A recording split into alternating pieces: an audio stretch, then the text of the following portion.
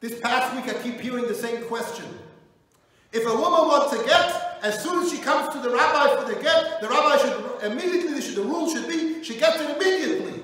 And people ask me even a funnier question, that at the ketubah, while he signs the ketubah, there should be a second document of a get, as soon as the get they want. Hello. Besides the halakhic, whether it works halakhically or not, let's put all that aside. You see that the rabbis did everything that it should be complex to get divorced. On one hand, the rabbis did not want that it should be easy to get divorced. Why? The rabbis were very smart. They knew if you make divorce too easy, people will get divorced. And then they regret it. How many times any pulpit rabbi will tell you how many phone calls did they get? Rabbi, either from the husband or from the wife. I want to get right now. And then the next day they're back together like everything's normal. If every rabbi was to jump and give the get immediately, we would have a lot of divorced couples and a lot of the couples regretting it terribly. Even the, the governments, in, in the, the non-Jewish government, non-Jewish law, if you go to a judge, state of New York, state of New Jersey, you try to sign off on a divorce, you have to wait till the judge signs off on it. He has to see if there's valid reasons for, for, for divorce. Can't just, okay, let's get divorced tomorrow, it's all over. Everybody understands that you don't want to make divorce too easy because every time there's a little argument, everything will fall apart. But at the same time, you don't want men to take advantage. You don't want the women to just run away and, and, and, and let's, let's make a perfect balance. And that's what the Torah kept fine-tuning and fine-tuning back and forth. Everything, of course, within the framework of halakha. Let me explain why I'm saying framework of halakha. Because a lot of people in the past week are saying, oh well, these laws are too ancient. We got to come up, it's 2021, let's get with the times. Our Torah is nitzchi, is eternal. But just like in all the other halachot, the rabbis found ways within the framework of halakha to perfect and to fine-tune. This every situation as the situation came up. It's the same thing with ketubah, and it's the same thing with the divorce. But before I just get to divorce, I just want to end off one more thing with the ketubah to show you how this happened. With the ketubah, even in our community in our time, you look at the ketubot that Chacham Yaakov Kassin wrote, he puts 5,500, 555, then, and then he changed to 18, whatever that was, about the Hamsa, let's not get into that now.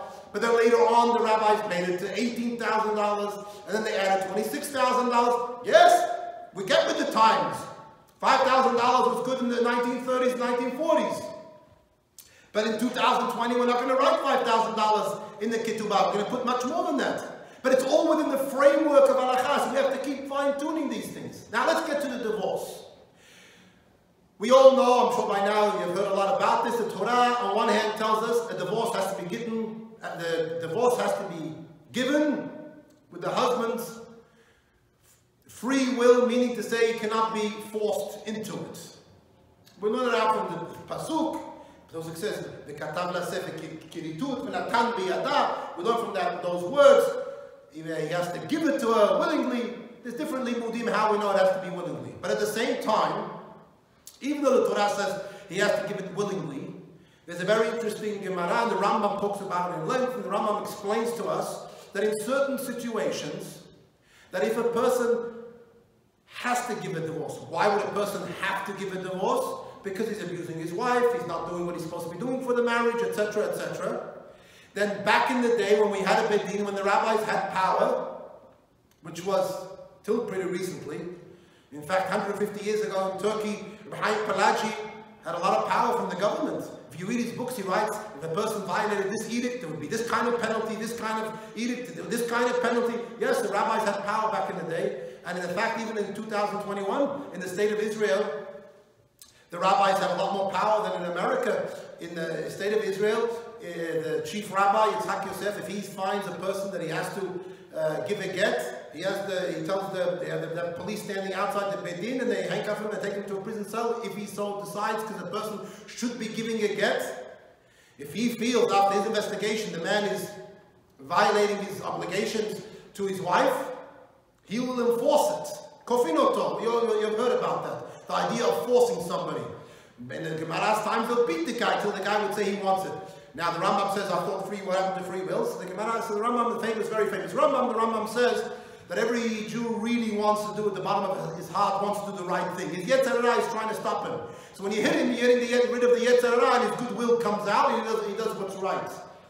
But the bottom line is, in general, we don't like to do kofinoto. But getting back to this article, where the article says a man won't give his wife a get, there's no solution. First of all, there used to be a solution until very recently.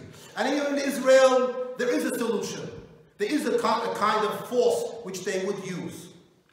Okay, but let, we're living in America and we don't have those options.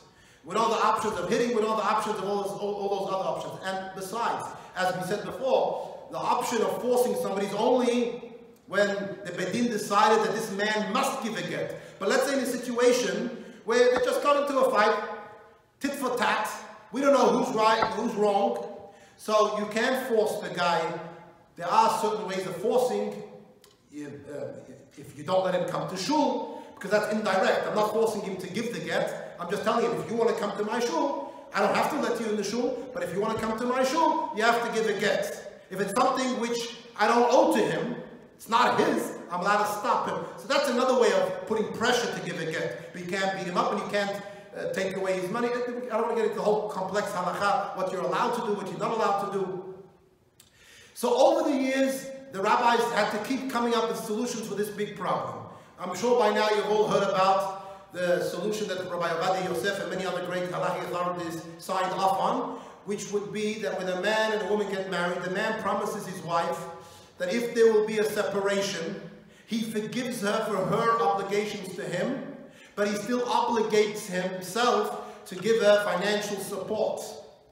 So initially when they came up with this contract, they said it was like $150 a day. This prenuptial agreement that I'm talking about now. $150 a day, for every day that passes, he doesn't give it a get once they are separated. But then they have to fine tune that too, because $150 a day for a rich guy is $55,000 a year, it's not, not going to do much. So then they said, based on their status, based on their income, the Bedin will evaluate if this is a, uh, this marriage is not going to come back together. So then the rabbis came up with an idea, well, it could even be up to $1,000 a day. That, they, that already hurts. And this is the idea of the prenuptial agreement that everybody's talking about, that the husband uh, will sign to his wife on the same day that he signs the ketubah. He'll sign that if they separate, he's still obligating himself, even and he forgives her for all her obligations. And then the Bedin will decide exactly, they decide which Bedin should uh, make the agreement between the two of them, and the Bedin will decide how much exactly he has to pay her. And this is a tremendous incentive for the person to give the get, because if he doesn't, then he can lose everything he owns, and so on and so forth. Now, there are other people trying to come up with other solutions, whatever it is.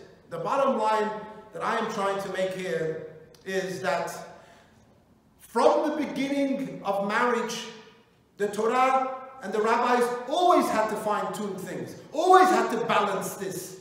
Once they realized people were taking advantage too much this way, it was too easy to get divorced, they had to make it a little bit more difficult. Once they realized it was uh, women, women didn't want to get married, so they had to make it a little bit easier this way. This is a, a process which keeps going on in every generation. Okay, so in 2021, once again, we have to fine tune it. But everything within the guidelines of halacha.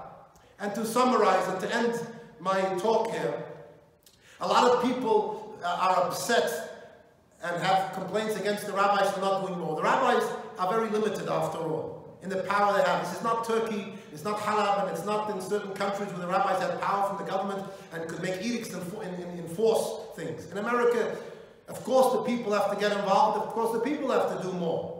But at the same time, the Torah is not to blame either. The Torah is perfect. The Torah is beautiful. And the Torah teaches us to do the right thing.